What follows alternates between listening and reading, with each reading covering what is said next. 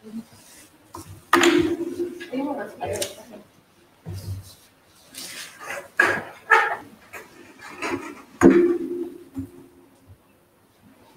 okay, halo semuanya. Selamat datang di podcast Institute for Criminalized Justice Reform ICJR dan Lembaga Bantuan Hukum Pers. Pada episode kali ini kita punya tema yang seru yang akan kita obrolin bareng dua narasumber kita nanti.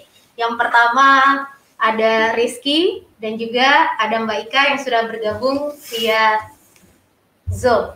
Halo Mbak Ika, selamat sore. Halo, selamat sore Siska dan Mas Rizky. Apa kabar? Ya. Terima kasih Mbak Ika waktunya sore hari ini. Kalau Rizky, sehat ya Rizky? Ya, sehat. Oke. Okay. nah, teman-teman, uh, di episode kali ini tema kita adalah refleksi perjalanan Undang-Undang ITE dalam demokrasi, kebebasan pers, dan media di Indonesia. Nanti kita akan banyak berbicara terkait apa saja sih hambatan dan tantangan Undang-Undang ITE, atau mungkin ada banyak pasal-pasal karet yang selama ini digunakan untuk mengkriminalisasi atau apa aja yang sering kita dengar ini pasal karet untuk apa? Pasal karet ini sering menyerang siapa? Kita akan dengar dari dua narasumber kita sore hari ini. Oke okay, yang pertama karena ada dua narasumber saya mau tanya yang paling terdekat terlebih dahulu. Oke okay, Rizky kalau ngomongin soal undang-undang ITE kalau menurut Rizky undang-undang ITE itu seperti apa? Secara general dulu deh. Iya, uh, sebenarnya undang-undang ITE ini uh, fungsinya gitu ya uh, tujuan awal dibuatnya itu kan dia sebenarnya untuk mengatur hal-hal yang belum diatur gitu ya kayak transaksi elektronik gitu. Terus uh, apa tentang informasi uh, elektronik dan sebagainya. Uh, perlindungan terkait data pribadi gitu.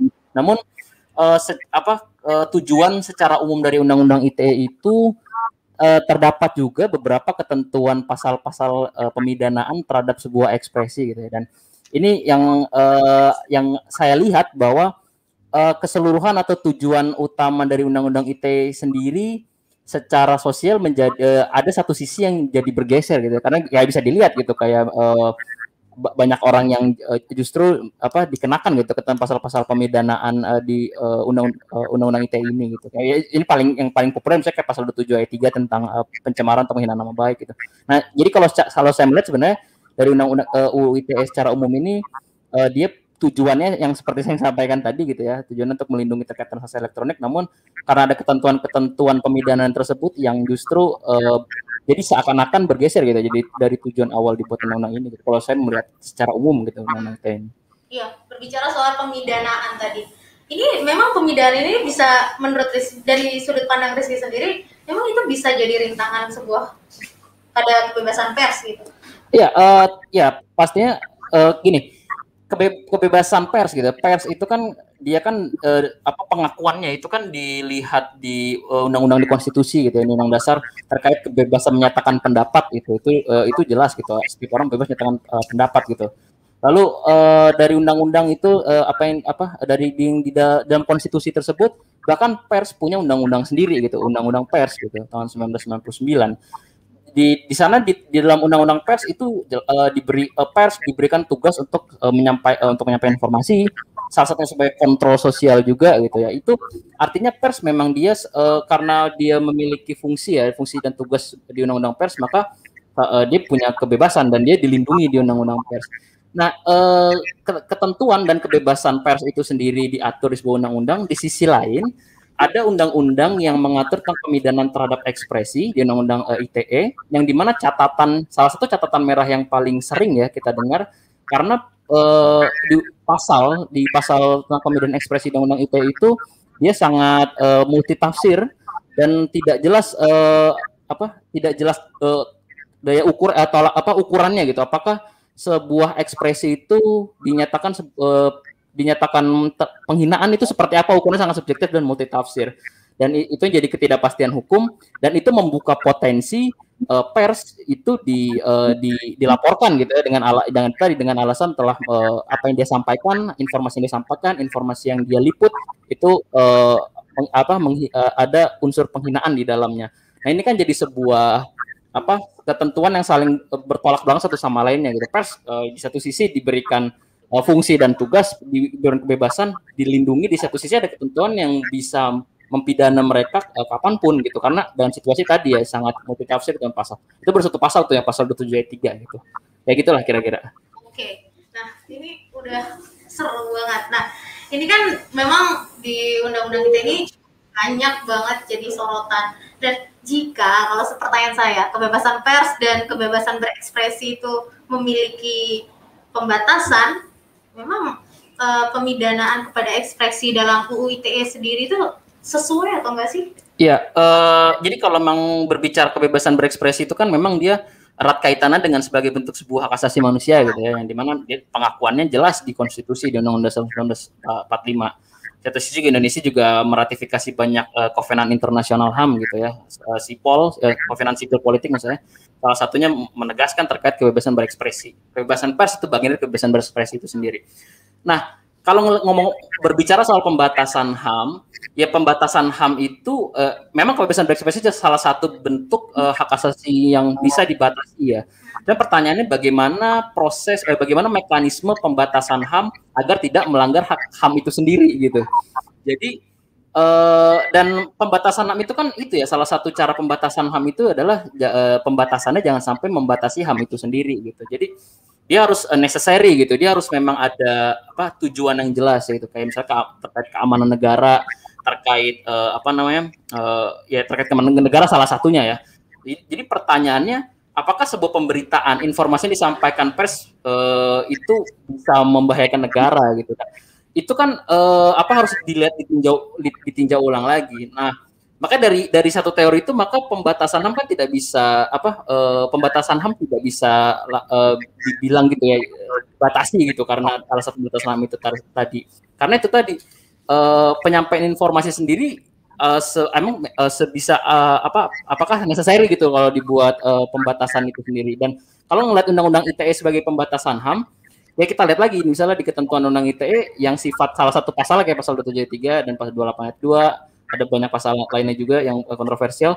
Dia sifatnya multitafsir juga yang uh, dia sangat uh, sangat subjektif penilaiannya yang sifatnya dan menimbulkan ketidakpastian apakah pertanyaan jadi muncul pertanyaan apakah uh, pasal-pasal tersebut yang uh, apa multitafsir tersebut jadi salah satu uh, cara yang tepat untuk membatasi kebebasan berekspresi itu sendiri gitu. Yang rentan justru uh, melanggar hak asasi manusia khususnya kebebasan berekspresi lah gitu makin makin seru nih. Oke, okay, saya mau stop dulu. Saya masih punya beberapa pertanyaan buat Rizky. Tapi saya mau ini nyapa dulu nih. Um, Baika, halo. Iya, saya masih di sini. Terdengar? Iya. Iya, terdengar Baika, aman suaranya. Ini Baika, dari menanggapi dari Mas Rizky tadi. Kalau Mas Rizky tadi punya pandangan khusus dari perspektifnya Mas Rizky karena Mas Rizky ini adalah seorang pengacara publik, jadi perspektifnya adalah itu. Tapi saya ingin tahu dari perspektif Mbak Ika. Mbak Ika ini kan um, sekarang, oh, sebelumnya saya mau ucapkan selamat untuk Mbak Ika karena sudah uh, terpilih menjadi sebagian dari Indonesia. Uh, selama ini Mbak Ika, kehadiran Undang-Undang ITE ini kan uh, sudah cukup lama. Apakah benar Mbak Ika, Undang-Undang ITE ini bisa menghambat kerja-kerja dari jurnalis sendiri? Ya, uh, sama seperti yang diungkapkan uh, Mas Riki, Mas Rizky tadi ya. Kalau kami yang berbasis uh, data memang menunjukkan bahwa tidak hanya warga, tidak hanya uh, aktivis yang terjerat dengan undang-undang ITE, tapi trennya juga banyak jurnalis yang uh, terjerat dengan undang-undang ini. Misalnya saja saya uh, mengutip ya data dari SafeNet 2018 itu ada 8 jurnalis, kemudian 2019 ada 8 jurnalis yang itu dijerat dengan uh, undang-undang ITE. Nah, ini menunjukkan bahwa betapa karetnya gitu ya pasal-pasal uh, tersebut di undang-undang ITE sehingga jurnalis yang seharusnya dia uh, pengaturannya itu melalui undang-undang yang less spesialis ya ini di undang-undang PES itu akhirnya bisa dijerat gitu ya dengan undang-undang uh, eh, ITE gitu kan. Nah, ada dua pasal yang selama ini uh, banyak menjerat uh, jurnalis. Yang pertama adalah pasal 27 ayat 3 itu terkait dengan pencemaran nama baik. Yang kedua adalah pasal 28 ayat 2 itu ujaran kebencian. Jadi ketika ada jurnalis terutama uh, mereka yang bekerja di media online ya menulis atau mengkritik uh, baik itu kebijakan publik atau uh, mengkritik terkait pelayanan publik. Nah, mereka ternyata rentan dilaporkan oleh pejabat publiknya gitu. Nah, pejabat publik ini kemudian mempidanakan mereka dengan uh, dua pasal Undang-Undang ITE. Jadi uh, jurnalis itu kan sebenarnya memiliki tugas untuk atau sebagai uh, ini ya memberikan kritik sosial gitu. Dia memang tugasnya itu kan memang mengawasi gitu ya, mengawasi kebijakan publik gitu, mengawasi pelayanan publik. Nah, kerja-kerja pengawasan ini itu pasti akan uh, membuat jurnalis itu memang akan uh, sering untuk menulis berita-berita yang sifatnya adalah kritis gitu ya, karena memang itu menjadi uh, concern dari uh, tugas utama dari seorang uh, jurnalis gitu.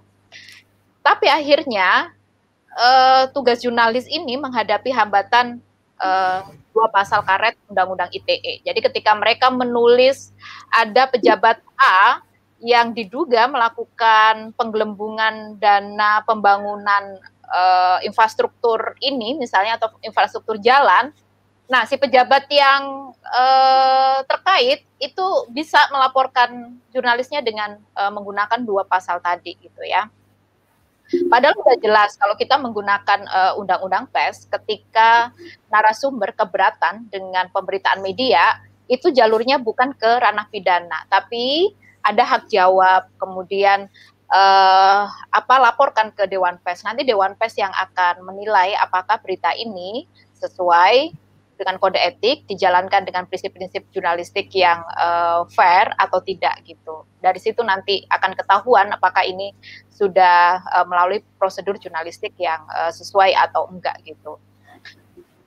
Ya, artinya uh, undang-undangnya sudah jelas, mekanismenya sudah jelas, tapi pada uh, pelaksanaan di bawah banyak jurnalis yang kena. Ini karena uh, ini ya rumusan rumusan dua pasal ini sangat karet gitu ya sehingga ini bisa di dikenain sama kawan-kawan jurnalis. Oke, okay.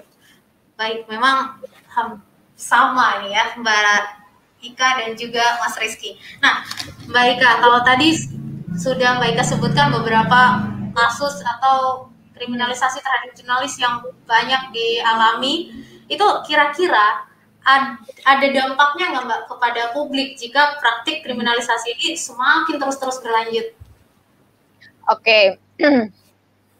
um, publik itu uh, berhak untuk mendapatkan informasi gitu ya, dan informasi yang didapatkan oleh publik jalan satu-satunya itu adalah melalui media gitu ya, dan kerja-kerja media itu ditopang oleh kerja-kerja jurnalis yang uh, disyaratkan memang harus bebas gitu. Hanya dia nggak di, bisa dibatasi supaya jurnalis bisa uh, bekerja sebagai watchdog tadi ya, sebagai uh, apa pengawasan publik tadi.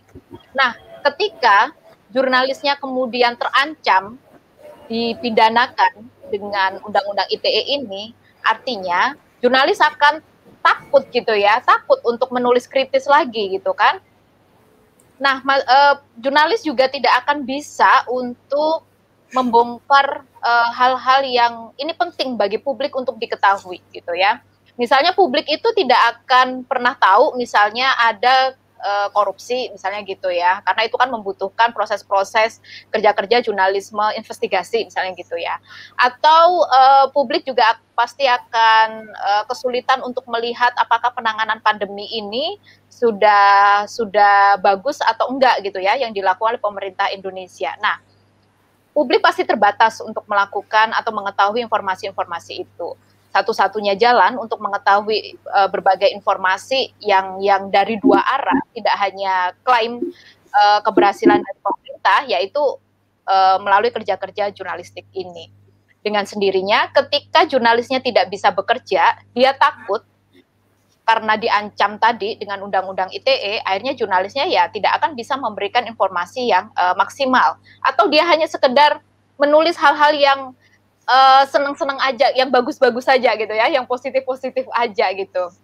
Nah, akhirnya masyarakat kan tidak akan bisa mendapatkan informasi secara utuh, padahal informasi yang utuh, yang komprehensif itu menjadi salah satu syarat juga supaya publik bisa mengambil keputusan dalam hidupnya gitu ya Misalnya keputusan untuk melakukan vaksin gitu ya, uh, kemudian keputusan untuk dia memilih uh, pemimpin misalnya gitu ya, uh, atau uh, keputusan untuk dia uh, memilih pendidikan, um, mengakses layanan publik seperti kesehatan dan sebagainya gitu. Nah, jadi pasti publik yang akan dirugikan ketika jurnalisnya tidak uh, bisa bekerja atau bekerja dalam bayang-bayang uh, ancaman ini. Oke, baik. Berarti memang ini harus kita perjuangkan bersama-sama termasuk Mas Rizky ya, yang selalu membantu perjuangan para jurnalis. Saya pindah ke Mas Rizky sebentar ya, Mbak Ika ya. Iya, silakan. Hmm, terima kasih Mbak Ika sebelumnya. Nanti kita akan lanjut lagi ngobrol bareng Mbak Ika. Ada beberapa poin yang mau saya tanyakan lagi. Sekarang kita pindah ke Mas Rizky lagi. Mas Rizky, selama sepanjang perjalanan, waduh sepanjang perjalanannya Mas Rizky sebagai pengacara publik ini pasti banyak sekali kasus-kasus yang sudah dibantu atau didampingi dari teman-teman jurnalis hmm. terkait undang yang terkait undang-undang ITE ini ya pasal karet dan segala macamnya. Boleh cerita nggak salah satu kasus yang menurut Mas Rizky, waduh ini jangan sampai nih keulang lagi. Gitu. Meskipun banyak yang sudah terulang ya. Iya. Oh, Oke, okay. mungkin yang paling ini, yang paling ini, yang paling berkesan gitu. Ya, uh, mungkin salah satu kasus yang belum lama ini terjadi di ke jurnalis ya. Hmm. Itu kan kasusnya yang apa menimpa uh, apa salah satu uh, wartawan di uh, Banjar Hits ya, uh, apa Mas Diananta. Jadi uh, Mas Diananta itu kebetulan dia uh, sedang meliput meliput pemberitaan dan uh, salah apa salah satu aktivitas peliputannya dia melakukan wawancara ke narasumber lalu uh, narasumbernya lalu tidak uh, apa dibuatlah pemberitaan tersebut setelah pemberitaan uh, dibuat lalu uh, dia dilaporkan gitu ya dilaporkan pemberitaannya lalu uh, proses hukum berjalan uh, dia di uh, dia didakwa uh, apa uh, di, pertama diduga uh, beritanya itu uh, mengandung uh, apa sara ya mengandung sara di undang-undang ITE lalu uh, diadili di pengadilan dan diputus uh, bersalah dan dihukum uh, dihukum tiga bulan ya penjara tiga bulan. Jadi uh, itu bisa kita lihat di sana uh, dua hal. Yang pertama bahwa uh, kalau dalam perspektif aktivitas pers gitu, aktif, uh, kegiatan jurnalistik, maka sebenarnya harus dilihat bahwa apa yang dilakukan uh, oleh uh, yang dilakukan di kasus tersebut gitu ya, uh, pihak peliput atau wartawan, dia melakukan kerja-kerja jurnalistik, jurnalistik atau kerja-kerja pers. Sehingga yang tadi saya disampaikan sebelumnya juga bahwa apabila ada sebuah uh, apa apabila ada sebuah hal yang perlu ditinjau uh, ulang dari hasil uh, apa dari hasil peliputan atau penulisan pemberitaan dari kerja-kerja pers tersebut maka dia harus diselesaikan uh, melalui sengketa disengketa di dewan pers gitu uh, setiap keberatan. Nah kendati pun di kasus tersebut uh, sudah diajukan ke dewan pers dan dewan pers sudah menilai dan penilaian dewan pers salah satunya adalah bahwa uh, apa ker, uh, pemberitaan tersebut merupakan produk jurnalistik. Walaupun memang ada pelanggaran kode jurnalistik di sana. Uh, uh, uh, apa namun demikian bahwa uh, produk jurnalis uh, itu sudah dianggap produk jurnalistik oleh Dewan Pers kan seharusnya ya diselesaikan saja oleh Dewan Pers itu. Bahkan Dewan sudah melakukan PPR sudah memberikan kewajiban uh, yang bersangkutan untuk uh, ya tidak uh, kalau yang keberatan untuk diminta memberikan uh, hak jawab. Habis itu uh, dari pihak ininya uh, apa dari pihak uh, uh, dari pihak yang ini memberitakan juga uh, harus di uh, ini harus disampaikan hak jawabnya dan dan sebagainya. Walaupun kendati pun demikian proses uh, di prosesnya juga berlanjut di pengadilan uh, apa di peradilan secara pidana gitu ya. Itulah kenapa akhirnya disidang dan akhirnya diputus bersalah.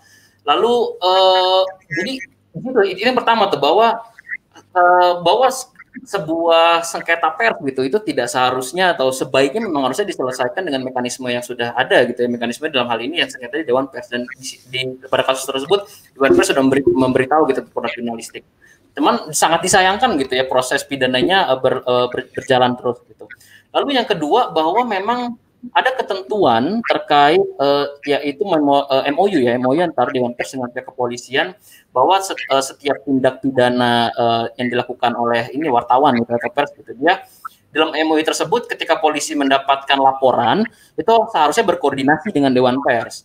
Lalu setelah berkoordinasi Dewan Pers, lalu pihak Dewan Pers yang akan menilai apakah pemberitaan ini adalah sebuah tindak pidana yang nantinya akan dilanjutkan oleh, oleh apa prosesnya oleh pihak kepolisian atau dia memang uh, jurnalistik yang diselesaikan uh, yang cukup diselesaikan di dewan pers gitu. Nah, uh, MOU tersebut atau mekanisme tersebut sangat disayangkan gitu ya uh, harusnya harusnya terjadi gitu. Dan uh, tidak apa tidak terjadi secara maksimal gitu ya. Itu tadi. Jadi uh, permasalahannya jadi itulah kenapa yang kasusnya akhirnya bergulir terus gitu. Dan ketiga ini kan jadi sebuah uh, jadi sebuah apa ya ini jadi sebuah pengalaman ya atau menjadi sebuah kejadian yang cukup membekas gitu ya. Jadi saya punya kekhawatiran ke depannya pers atau wartawan jadi uh, ada rasa takut gitu ya untuk uh, apa untuk melakukan peliputan secara faktual gitu. Kalau tadi kata Mbak Ika tadi uh, coba untuk uh, investigasi eh, apa lebih dia coba menggali di dalam gitu sebuah pemberitaan. Untuk uh, apa mengungkap sebuah fakta ini diharapkan ke depannya jadi ada rasa kekhawatiran gitu. Karena ada bayang-bayang dari uh, unda, apa pasal-pasal dalam uh, UU ITE yang yang saya bilang sebut bilang sebelumnya tadi ya uh, dia multi tafsir dia nggak uh, jelas uh, apa ukurannya. Nah, jadi kalau di kasus tersebut kalau kita lihat uh, masalahnya ada dua gitu. Dari memang dari secara pasal atau ketentuan yang dijatuhkan ya yang apa yang jadi dasar untuk melakukan pemidanaan kepada wartawan ya Mas Jananta itu memang dia pasalnya multi tafsir tadi dia multi tafsir tolak ukurannya sangat luas lalu yang kedua nih soal implementasi juga gitu permasalahannya. Jadi uh, kendati pun udah ada MOU itu uh, apa memorandum of understanding dari uh, Dewan Pers dan uh, pihak kepolisian itu uh, apa sangat disayangkan sekali ya tidak uh, tidak maksimal. Lalu uh, apa ini juga jelas itu sudah uh, so, apa uh, produk jurnalistik di, di, di, di, di PR di yang dikeluarkan Dewan Pers sudah jelas tuh tapi tidak di tidak kenapa tidak dilanjutkan eh diselesaikan di mekanisme secara Dewan Pers saja gitu. Nah, itu jadi uh, permasal apa yang jadi uh, permasalahan pada kasus tersebut itu tadi ya dia ada permasalahan dari segi uh, ketentuan pasal gitu ya sebagai akar permasalahannya sama ya di implementasi itu sendiri gitu. Itu salah satu uh, kasus lah yang yang uh, apa yang ditangani oleh BH Pers gitu di tahun 2020. Dan itu cukup berkesan ya. Iya. Yeah. yang lain juga berkesan sih. Yeah. Karena memang ya sebenarnya pasalnya muter-muter di situ aja. Berarti memang gara-gara misalnya yang disebut adalah memang pasal ini sangat multitafsir dan tolak ukurnya tidak yeah, yeah. bisa tidak tidak tepat atau mungkin kurang jelas. Nah, um, satu pertanyaan sebelum saya pindah lagi ke Mbak Ika nih soal kemarin juga LBH Pers kan sempat uh, membantu uh, soal pemblokir apa pembatasan pemutusan internet ya maaf pemutusan internet hmm. di Papua itu kalau soal itu memang selain pemidanaan tadi memang soal pembatasan eh pemutusan internet ini juga termasuk masalah yeah. atau memang ah kayaknya perlu dikhawatirkan juga nih yeah. kenapa gitu Mas Rizky? Ya terima kasih Mbak Siska uh, sudah notice ya gitu. Jadi memang uh, ini perlu ini ya perlu uh, kita perlu uh, perlu apa perlu melihat undang-undang ITE ini secara keseluruhan gitu ya perspektif bahwa permasalahan dalam undang-undang ITE ini dia memang tidak melulu ya tidak selalu terkait pemidanaan kepada ekspresi gitu misalnya kayak contoh pasal 23 penghinaan 28 ayat 2 tentang ujaran kebencian terhadap sara gitu atau penghinaan yang mengakibatkan kerugian konsumen gitu ya jadi pem, bukan soal pemindahan pada ekspresi saja bahwa permasalahannya pun uh, bagaimana pemerintah itu memiliki kewenangan yang sangat besar untuk memutus akses uh, elektronik ya tuh, uh, di, di undang ITE itu. Jadi dalam hal ini internet lah bisa dicontohkan. Jadi memang di pasal 40 ayat uh, 2A dan as, pasal 40 ayat 2B itu di dalam undang-undang ITE diatur tuh terkait kewenangan tersebut. Nah, kalau melihat kewenangan tersebut uh, catatan dari saya gitu ya dari LBH setidaknya bahwa di situ bisa kita lihat tuh bahwa kewen besarnya kewenangan pemerintah dalam memutus akses itu yang pertama pemerintah itu boleh memutus akses apabila elektronik ya apabila uh, ada informasi atau dokumen elektronik yang uh, di, uh, bermuatan atau berkonten melanggar hukum. Nah kita bisa lihat uh, kewenangan pemerintah itu bisa yang pertama mendefinisikan sebuah informasi atau dokumen elektronik apakah benar melanggar hukum. Nah, satu sisi melanggar hukum, patokannya apa? Ya patokannya salah satunya mungkin di pasal-pasal yang tadi gitu. Padahal pasal-pasal tadi aja masih ada perdebatan tuh. Lalu pendefini apakah pemerintah eh, apa eh, ap, apakah pemerintah memang benar kita gitu, diberikan kewenangan sebesar itu untuk mendefinisikan eh, sebuah informasi atau dokumen elektronik yang melanggar hukum. Yang kedua eh, berdasarkan ini ya dengan apa eh, dengan tadi ya dengan dia sudah mendefinisikan sebuah informasi atau dokumen elektronik yang melanggar hukum itu dijadikan dasar untuk melakukan pemutusan atau memerintahkan untuk melakukan pemutusan akses dalam hal ini internet. Uh, itu yang kedua tuh uh, apa proses pemutusannya. Dan yang ketiga jangka jangkauan pemutusannya. Apa yang diputus di uh, akses elektronik? Kontenkah? Atau uh, internet secara keseluruhan kah? Atau keseluruhan uh, ya atau semuanya dalam jangka sebesar apa jangkanya. Jadi ada tiga pertanyaan gitu di kewenangan tersebut. Nah, kalau kita melihat gitu di kasus uh, pelambatan dan pemutusan akses internet di beberapa wilayah di Papua dan Papua Barat di tahun 2019 ya kalau 19 itu kita bisa uh, itu dijadikan dasar gitu pemerintah untuk uh, melakukan pemutusan akses dengan alasan uh, keamanan ya kayak penertiban lah itu uh, diputus aksesnya gitu agar uh, tidak tersebut apa dengan alasan uh, penertiban lah waktu itu isu-isu isu sara waktu itu. Tapi kan pertanyaannya uh, apakah jadi necessary gitu pemutusannya dilakukan secara cukup masif ya di beberapa wilayah gitu. Di hari pemutusan pelambatan dan pemutusan itu kan uh, bagaimana dengan bisnis yang dia core-nya memang membutuhkan akses internet misalnya kan pasti terganggu gitu. Padahal dia tidak ada hubungannya nih misalnya sama yang jadi alasan pemerintah melakukan pemutusan. Terus uh, bagaimana dengan informasi kan informasi jadi sulit tuh, iya. apalagi zaman sekarang gitu ya, internet jadi hal yang uh, jadi hal benar-benar digunakan sekali untuk penyebaran informasi. Nah sebenarnya intinya gitu, uh, itu catatan dari kami ya terkait kewenangan. Kami bisa memahami bahwa uh, internet atau akses elektronik itu memang penyebaran informasi ini sangat cepat dan kami bisa pahami ada beberapa informasi atau dokumen yang dia harus cepat di take down. Kayak contoh misalnya uh, pornografi anak. Ya saya sepakat itu nggak boleh ketika ada gitu ya, nggak boleh uh, tersebar harus segera di take down itu juga. Tapi kan yang jadi pertanyaannya, kewenangan uh, pemerintah yang saat ini apakah sudah sesuai dengan mekanisme due process of law gitu? Siapa yang mengontrol pemerintah gitu kan sebelum ya sebelum melakukan pemutusan?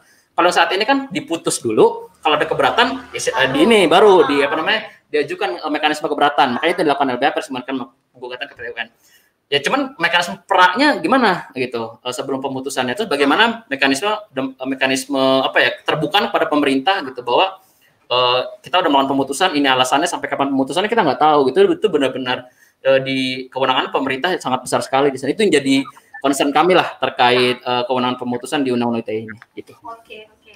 Nah baik terima kasih. Itu tadi luar biasa. Ini memang benar. Benar kata Rizky. Mekanismenya memang belum jelas dan memang selalu diputus dulu baru kita melakukan keberatan. Jadi memang belum jelas siapa yang mengontrol pemutusan ini meskipun itu dilakukan oleh pemerintah.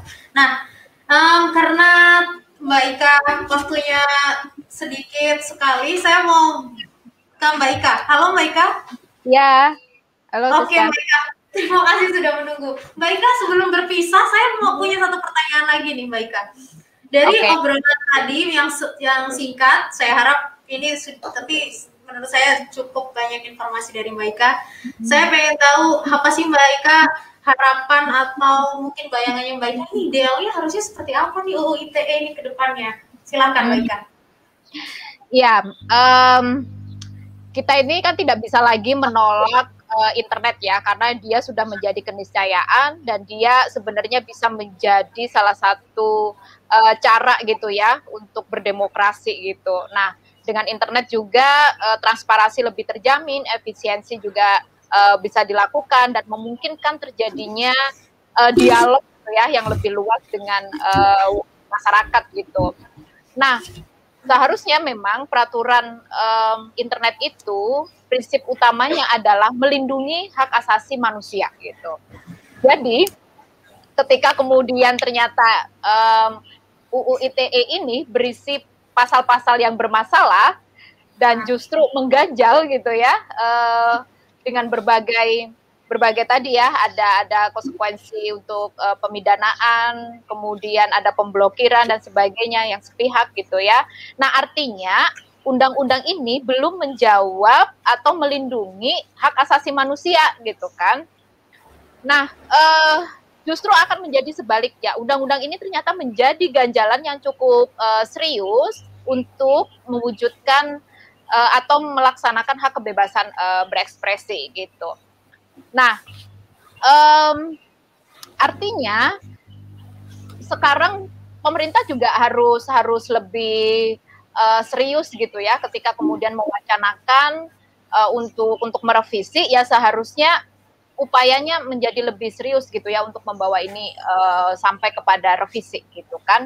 Karena tadi sama Mas Rizky sudah dijelaskan uh, ada masalah-masalah uh, dalam pasal-pasal karet ini terjadi duplikasi gitu ya dengan uh, beberapa undang-undang yang lain misalnya di KUHP, di Undang-Undang Pelindungan Konsumen, kemudian di Undang-Undang 146 dan beberapa uh, peraturan lain, kemudian terjadi overkriminalisasi dan sebagainya. Ini kan akhirnya menciptakan uh, ketidakpastian hukum gitu ya. Masa satu satu um, apa kejahatan begitu diatur oleh dua undang-undang gitu kan. Nah, yang harus kita lihat lagi sebenarnya pada tahun 2012 PBB itu sudah jelas menyatakan bahwa uh, hak kebebasan berekspresi di online itu harus sama perlindungannya dengan uh, kebebasan berekspresi di offline gitu. Jadi apa? Jadi pemerintah uh, harusnya gitu ya memberikan pelindungan terhadap mereka yang berekspresi gitu ya menggunakan uh, internet sama dengan bagaimana memberikan pelindungan uh, ekspresi di ranah offline. Nah, tapi kenyataannya dengan melihat uh, apa beberapa pasal karet di Undang-Undang ITE ini itu kan akhirnya sudah tidak ada perlindungan dan itu terjadi overkriminalisasi gitu ya. Akhirnya lebih berat gitu kan. Kenapa kemudian uh, pasal pencemaran nama baik yang sebenarnya ini adalah bentuk uh, pidana konvensional gitu ya. Artinya sebelum internet itu kan sebenarnya sudah ada gitu ya, meskipun masih menimbulkan kontroversi itu sampai hari ini. Nah di di KUHP itu 9 bulan pidananya, tapi kenapa kemudian di internet menjadi empat uh, tahun gitu ya kalau hasil revisi 2016 gitu kan? Nah, e, artinya ada pengaturan yang memang overkriminalisasi ini dan dampaknya itu sangat serius terhadap korban gitu. Karena ketika berbicara e, pidana gitu ya, ada orang yang ditahan itu bukan sekedar aspek hukum, tapi aspek psikologisnya, dampak sosialnya, dampak terhadap ekonomi keluarga mereka itu luar biasa banget.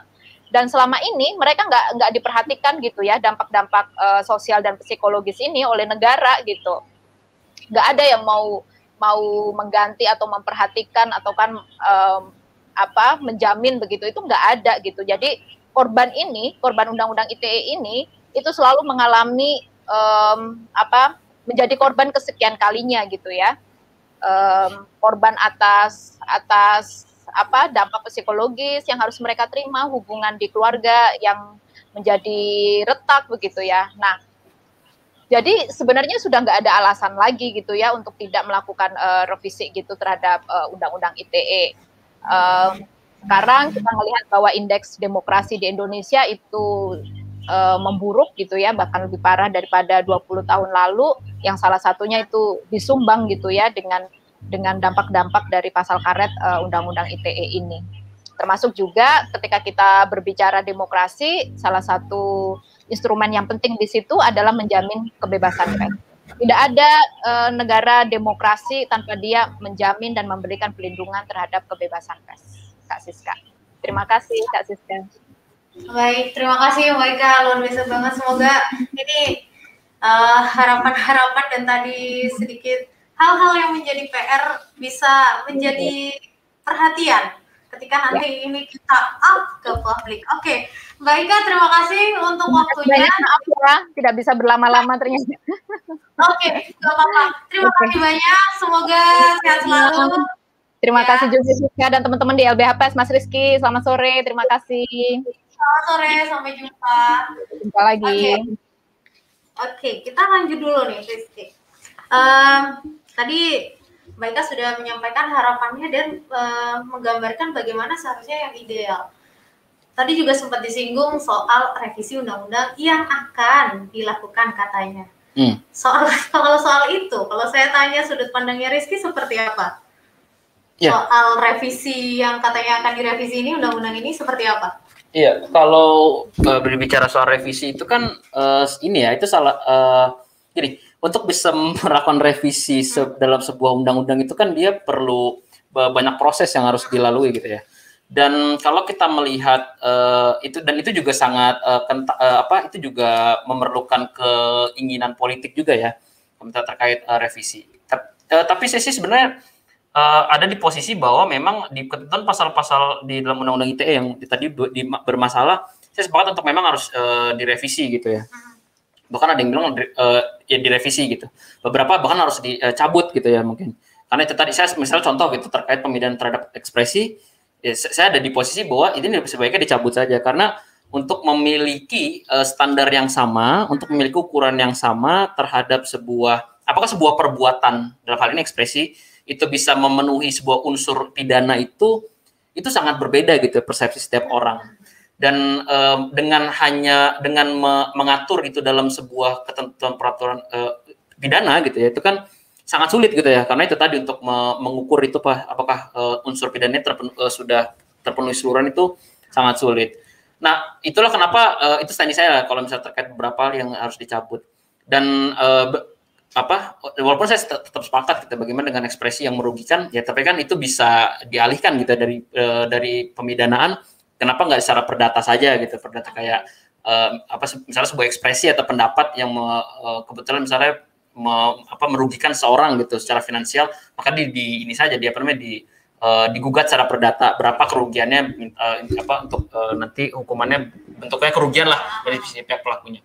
Nah uh, kalau revisi di, di sana, cuman balik lagi gitu, uh, saya sih uh, lebih kepada berharap ya, berharapannya besar gitu, apakah uh, sejauh mana pemerintah, sejauh mana uh, pemerintah dan nantinya DPR gitu ya. Uh, mau gitu untuk merevisi ketentuan undang-undang ITE ini khususnya di beberapa hal-hal yang menjadi catatan uh, masyarakat sipil gitu. Yang tadi ya setidaknya ada dua dua dua dua bentuk dua jenis lah kayak pembedahan terhadap sama kewenangan uh, kewenangan pemerintah dalam memutus akses uh, elektronik gitu. Nah kalau misal, kalau ngeliat dari revisi itu tadi ya, jadi uh, pandangan saya uh, seperti itu terkait revisi dan harapannya pada pemerintah sebenarnya uh, di situ. Kendati pun bahwa kalau kita melihat revisi undang-undang ITE ini nggak boleh jangan sampai dalam tanda kutip ya jangan sampai terjebak pada satu undang-undang ITE ini bahwa ketentuan pemidanaan terhadap ekspresi itu tidak hanya diatur di undang-undang ITE dia diatur juga di misalnya di KUHP gitu. Kita ambil contoh pasal 156A tentang penodaan agama. Bagaimana mengukur uh, sebuah perbuatan sebuah ekspresi itu sebagai sebuah penodaan agama? Balik lagi itu jadi subjektif. Balik lagi itu cukup jadi multitafsir. Uh, ada beberapa uh, beberapa kasus gitu pemidananya seperti uh, dipaksakan gitu ya. Karena itu tadi. Nah misalnya ada di pasal 14 pasal 15 di undang-undang peraturan hukum pidana tentang menyebarkan berita bohong yang mengakibatkan uh, ini apa? Ya tentang berita bohong gitu. Bagaimana mendefinisikan sebuah berita bohong gitu misalnya? Atau tentang terkait uh, apa ketentuan uh, ya ketentuan tentang ekspresi lain. Jadi kalau kita ngomong uh, revisi pun jadi harus melihatnya secara uh, apa secara keseluruhan gitu ya. Bahwa keperluan untuk melakukan revisi ini bukan semata-mata terhadap undang-undang ITE saja, tapi juga bagaimana uh, keten, bagaimana ketentuan pemidanaan terhadap ekspresi itu ya itu yang sangat sulit gitu loh, uh, pemenuhannya sangat-sangat iya, subjektif yeah. sekali. Nah, jadi kalau memang mau revisi ya revisi aja secara total terkait pemidanaan terhadap ekspresi seperti apa gitu. Jadi cabut uh, beberapa beberapa pasal yang harus dicabut dicabut untuk direvisi direvisi. Nah, itu saya bilang jadi uh, kita jangan melihat uh, undang-undang ITE secara satu hal gitu ya kita bahwa undang ITE ini kan dia juga salah satu jadi kan kayak uh, pencemaran nama baik dia kan dekat juga dengan pasal 310 311 di KUHP gitu misal. Nah, itu kan kita harus lihatnya secara keseluruhan lah terkait revisi itu. Oke. Okay. Baik. Nah, berarti mirip dan sama harapannya dengan Baika. Nah, tapi dari obrolan kita tadi mungkin ada mungkin yang masih terlewat atau belum kita bahas yang ingin disampaikan oleh Mas Rizky silahkan. Iya mungkin uh, apa ya mungkin lebih ini ini aja mungkin lebih kepada harapan aja sebenarnya harapan kepada pemerintah gitu bahwa uh, saya pikir itu sudah saya sampaikan juga sebelumnya gitu terkait bahwa uh, ini bukan soal undang-undang ITE saja gitu ya yang uh, kalau dilihat dari catatan-catatan gitu bahwa yang harus direvisi dan harus uh, harus direvisi dan atau atau ada yang dicabut juga itu ini lebih dari sekedar undang ITE ada ketentuan lain juga. Dan harapan sebenarnya gini pemerintah uh, dan aparat penegak hukum saya pikir uh, bisa karena kan gini aparat penegak hukum dan pemerintah itu sudah uh, dia menyatakan gitu ya bahwa memang uh, memang ada ruang gitu ya ada ruang di undang-undang uh, bahwa ada ruang uh, di undang-undang ini yang bisa berpotensi atau bisa uh, apa tidak memenuhi rasa keadilan di masyarakat gitu kan. Ini kan jadi sebuah ya jadi setidaknya buat saya jadi sebuah harapan gitu ya bahwa ke depannya harapannya ya uh, itu tadi bahwa bisa lebih bijak lagi gitu ya dalam uh, ketika menangani kasus-kasus yang terkait undang ITE ini. Dan uh, saya apa ada saya juga besar harapan gitu ya sebenarnya ada political will atau ada keinginan lah ada keinginan dari pemerintah untuk uh, memang serius uh, untuk melakukan revisi atau uh, apa revisi atau per, uh, perbaik apa uh, merevisi gitu ya ketentuan ketentuan yang sudah jadi catatan tadi gitu. Ini kan salah satu bentuk dari salah apa dari reforma uh, ketentuan hukum pidana di Indonesia juga. Gitu. Mungkin itu sih. Oke. Oke, okay. ini kita ngobrol udah nggak berasa hampir uh, satu jam. Nah, Mas Rizky, ini terakhir sebelum kita closing, Mas Rizky ada nggak sih uh, satu bisa deh satu closing statement atau yang ingin disampaikan ke teman-teman di sana? Nggak cuma untuk jurnalis ya, mungkin untuk teman-teman yang lainnya yang mungkin juga rawan terkena undang-undang ITE itu apa silahkan iya uh, saya dari pos saya mau mau bilang begini sih bahwa ekspre, menyampaikan pendapat men, menyampaikan kritik gitu ya itu kan uh, adalah sebuah uh, bentuk partisipasi kita pada pemerintah gitu ya.